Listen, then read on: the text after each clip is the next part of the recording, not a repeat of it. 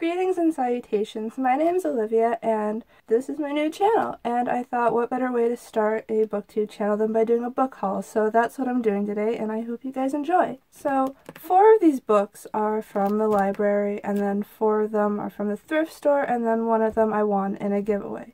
So starting with the library books I have Colorless Tsukuru Tazaki and His Years of Pilgrimage by Haruki Murakami and it's basically about this guy who's in his 30s and he doesn't have friends because he lost his group of friends in high school. They just, for whatever reason, they just like stopped talking to him and he doesn't know why.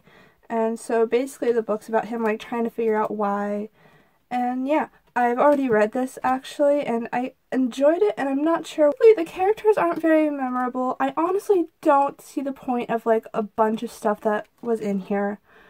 But for some reason, I still gave it like four stars on Goodreads because despite like it not being exactly memorable, I was never bored once. So that says a lot.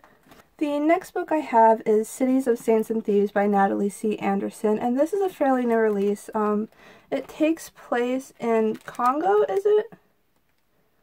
Um, yeah, I think Congo. No, they're refugees from Congo, but um, it basically follows a girl named Christina or Tina or Tiny Girl. She goes by many names, and her mother got killed about four years ago while they were living and working for this very prestigious family.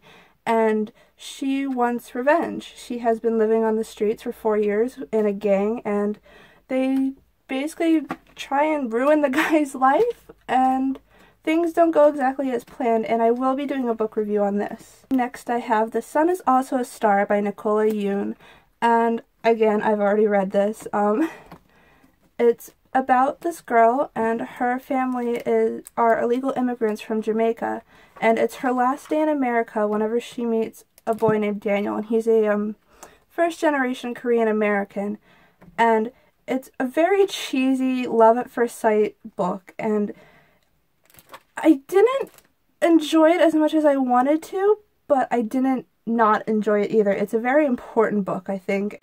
I will be doing a book review on this one as well. And then the last book I have from the library is The You I've Never Known by Ellen Hopkins. And again, this is a fairly new release. I think it came out in January. And I read this all in one sitting. It is all written in prose, except it's not.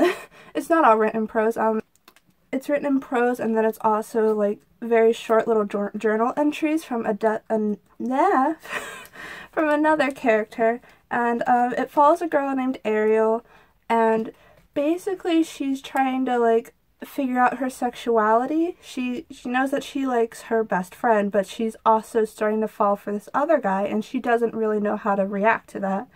And her father is very abusive and just awful and I really liked this book. Um, during the scenes where she was with her father, I like I actually got just like super anxious because he scared the crap out of me despite him being a fictional character. It was just like written in a way that was like so real and that like you know this is happening and it's just heartbreaking.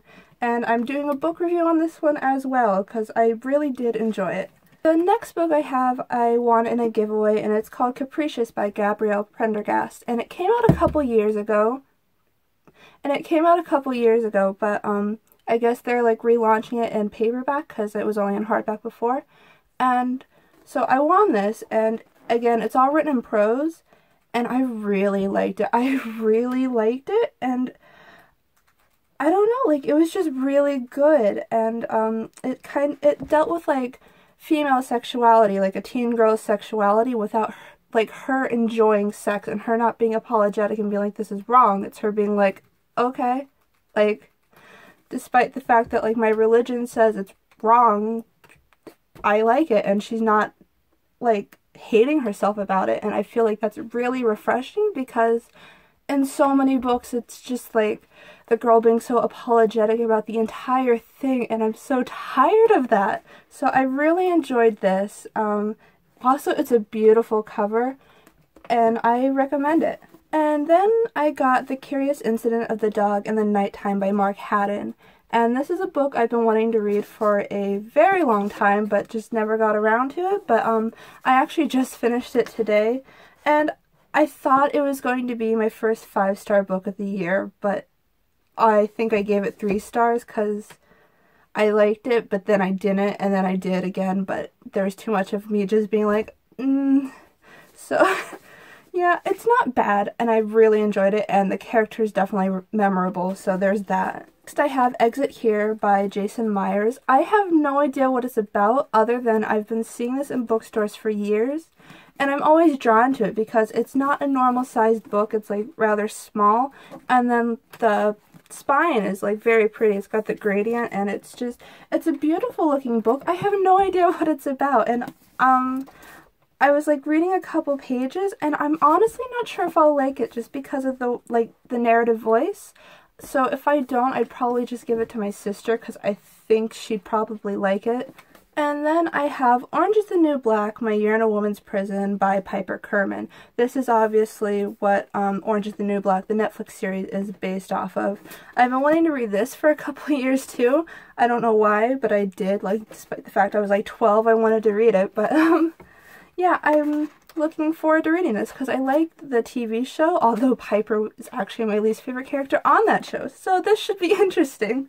The final book today is Kafka's Selected Stories, and it's basically just a compilation of Franz Kafka's stories, and like there's letters and stuff, and I've only read The Metamorphosis by him. I read that in class last year and I adored it. Like, I wanted to cry. It was so beautiful and I've been wanting to read more of his work and so I saw this and it was only $3 so absolutely.